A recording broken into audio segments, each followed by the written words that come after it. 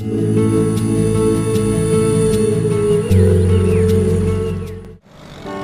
Hello अभी तुम्हारी विदाई नहीं हुई है? इतना इमोशनल क्यों हो रही हो? और अगर इतना इमोशनल हुई ना तो मैं समझ लूँगा कि तुम्हारा जवाब हाँ है। वैसे मेरे हिसाब से तुम्हें अभी हाँ बोल देना चाहिए। तुम्हें पता है ना, मेरे पीछे लड़कियाँ लाइन लगाकर वेट कर रही हैं। वो ब्रोच वाली लड़कियाँ अब घर चलें, नहीं तो मेरा फैमिली पुलिस कंप्लेंट कर देगी कि दूल्हा दुल्हन शादी से पहले ही भाग गए।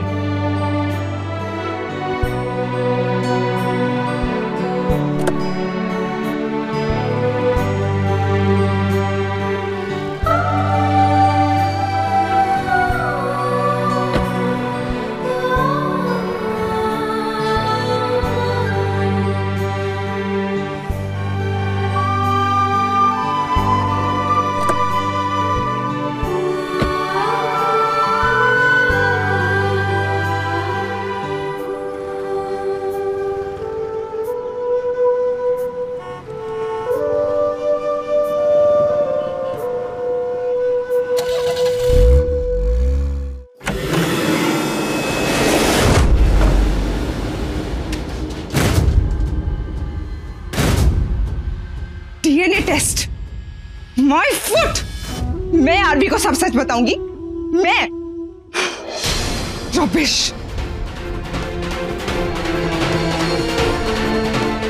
Calm down Ritika calm down तुम किसी टीवी सीरियल की बहू की तरह क्यों बिहेव कर रही हो? You are a good girl हाँ प्रेग्नेंट तो किसी और का गुस्सा अपने इस बेबी पे क्यों निकाल रही हो?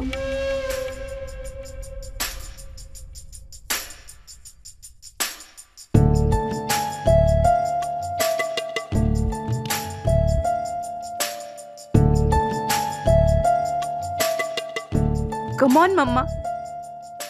Just take a deep breath. Lamaze classes में आपको कैसे सिखाया था? Breathe in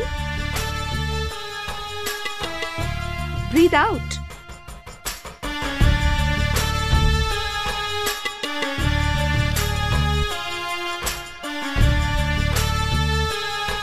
wow deep breathing करके क्या डीप थॉट आया? व्हाट एन आइडिया अरे, इतनी देर से इसकी बैटरी डाउन थी? बट दैट्स ग्रेट इसका मतलब इतनी देर से किसी ने मुझे फ़ोन भी नहीं किया होगा।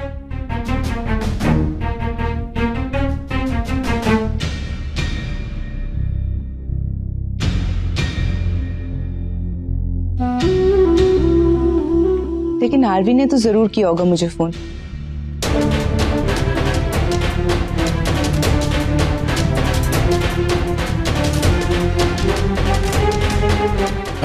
मासी हाँ? आपने रितिका को देखा क्या?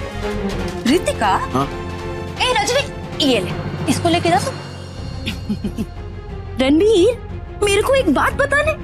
तू और रितिका कोई पकड़ा पकड़ी का खेल खेल रहे हो क्या है? अरे अभी अभी रितिका आई और उसके पीछे पीछे तू भी आ गया है? ये सब छोड़। अभी कमरे में जा जाके देख कि उसकी मेहंदी का रंग कैसे आए ये शायद कमरे में तेरा इंतज़ार कर रही होगी जा। जा ना हाँ वर्मा। वो फोटोग्राफ मिल गई ना? जी मैडम। फ़ोटो मिल गई है और मेरी आँखों के सामने है। गुड। उस फोटोग्राफ को अच्छे से देख लो। कल सुबह साढ़े ग्यारह बजे मेरी शादी का मुहूर्त है। और मैं नहीं चाहती कि उस शुभ मुहूर्त में वो औरत कोई भी प्रॉब्लम क्रिएट करे। Don't worry madam. कोई प्रॉब्लम नहीं आएगी। तुम्हें याद है ना क्या करना है? जी हाँ मैडम बिल्कुल याद है। होटल सिटी रीजेंट जाना है। जहाँ पर ईशानी ठहरी हुई है।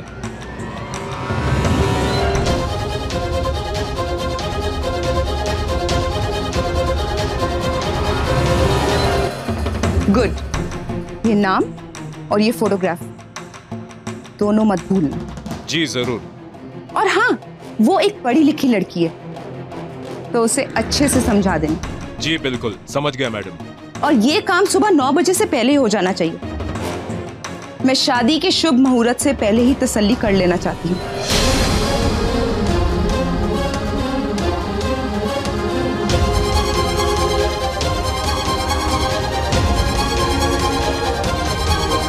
मैं उसे एक बहुत ही सेफ़ जगह पहुँचा देना चाहती हूँ। मेरा वाला सेफ़ जी, बिल्कुल, समझ गया मैडम।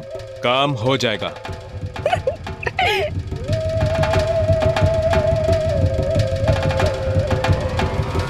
रितिका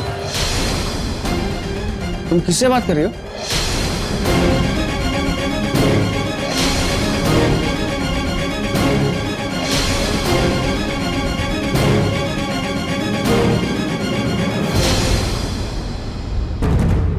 और किसे सेफ़ जगह पहुँचाने की बात कर रही थी?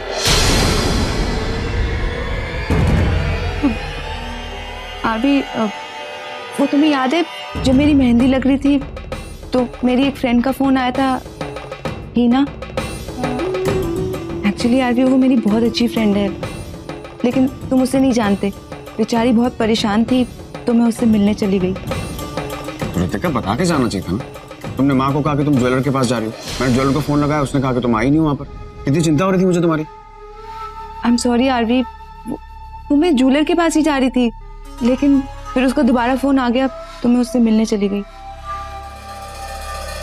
चलो कोई बात नहीं। वैसे वो ठीक है कि नहीं? नहीं आरवी एक्चुअली इसकी मैरिड लाइफ में बहुत प्रॉब्लम्स चल रही हैं। पता है उसका हस्बैंड उसे बहुत मारता भी है। पहले तो बेचारी ने बहुत टाइम तक सहा लेकिन अब उससे बर्दाश्त नहीं होता। उससे अपनी मैरिड लाइफ पे रितिका क्या हुआ? तुम इधर बैठो बैठो इधर। क्या हुई ओके या I am okay the baby just kicked baby ने अभी अभी किक किया। वैसे तो हमेशा किक करता है, लेकिन अगर मैं बात कर रही हूँ, तब तो कुछ ज़्यादा ही किक करता है। ये देखो, तुम भी फील करो। डोंट वरी बेबी पापा हैं।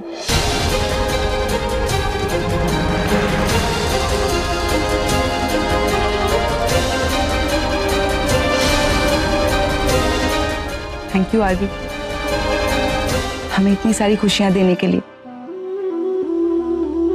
पता है, आज जब मैं अपनी फ्रेंड से मिली तो मुझे रियलाइज़ हुआ कि अगर आपका हस्बैंड अच्छा ना हो तो आपकी लाइफ कितनी खराब हो सकती है। और तुम ना ही सिर्फ़ हमारी केयर करते हो, बल्कि हमें हर प्रॉब्लम से भी दूर रखा है। और अगर तुम ना होते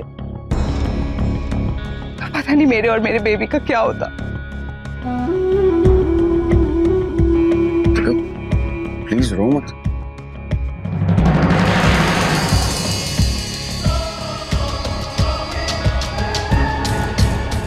मैं भी ना कितनी स्टूपिड हूँ।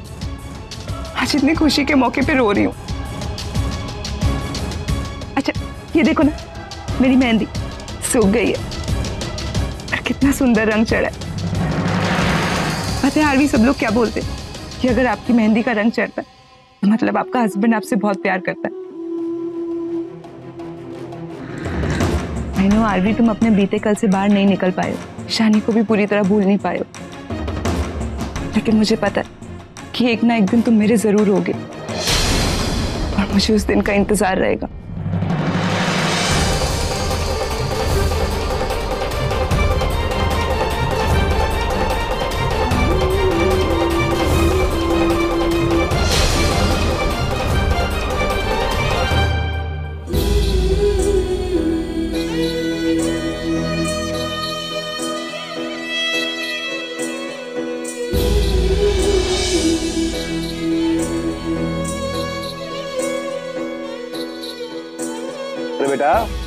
सूख गई है मेहंदी पूरे घर में गिर रही है देखो। हाथ धोलो ना जाके। नहीं ना पापा थोड़ा सा और सूखने दीजिए। कलर नहीं चढ़ा ना तो फिर बुआ जी कहेंगे कि देवश मुझे प्यार नहीं करता। शेखर मेहरा पूरा नाम लिखना है या एसएम लिखना है?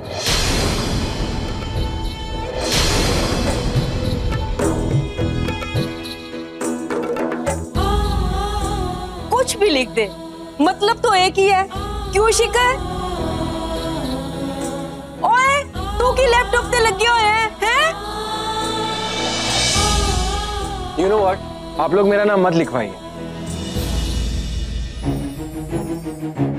अनु क्यों हो गई?